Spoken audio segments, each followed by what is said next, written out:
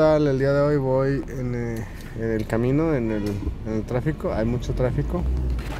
Eh, nomás quería comentarles que pues sigo en el coleccionismo de Hot Wheels. Lo había empezado cuando era niño, cuando tenía 14 o 15 años. Lo dejé de hacer.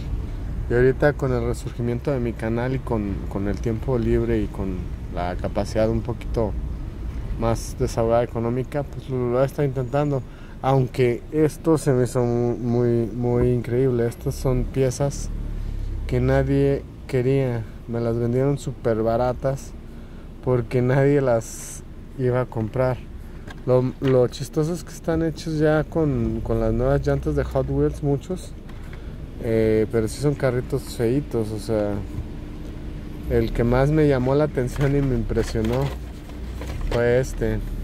Este carrito yo lo considero una joya que no sé si deba o no abrir porque tiene eso de atrás.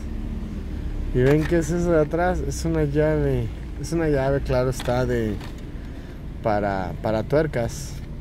Pero como buen mexicano creo yo que es un perfecto destapador.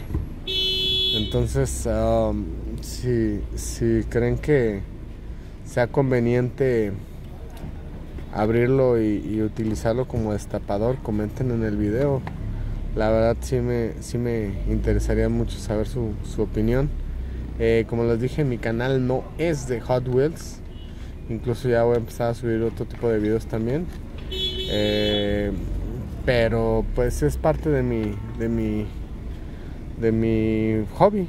Es un hobby que tengo, los Hot Wheels.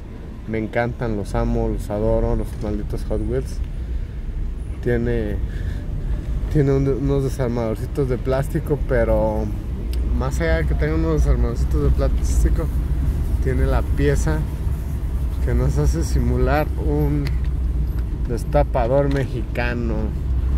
Bueno, bien sabemos que los mexicanos destapamos las, las cosas con todo y no digo las bebidas que contienen eh, sustancias que, te hacen sentir feliz.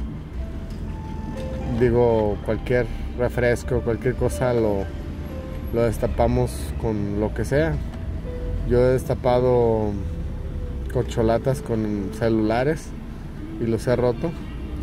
Pero este Hot Wheels sí se me hace una joya una joyita en bruto y siento yo que está menospreciado y que la verdad no lo quisieron por es de las nuevas líneas ¿eh? es Experiment Motors este incluso tiene fecha de fabricación del 2009 pero a pesar de que tiene la fecha de que, del 2009 aún está en, en, blister en, tiendas como Walmart eh, yo entiendo que a lo mejor no, no valga la pena mucho como carro, no sea coleccionable, no sea como un batimóvil de Adam West o, otro tipo de vehículos, pero yo siento que tiene mucho potencial.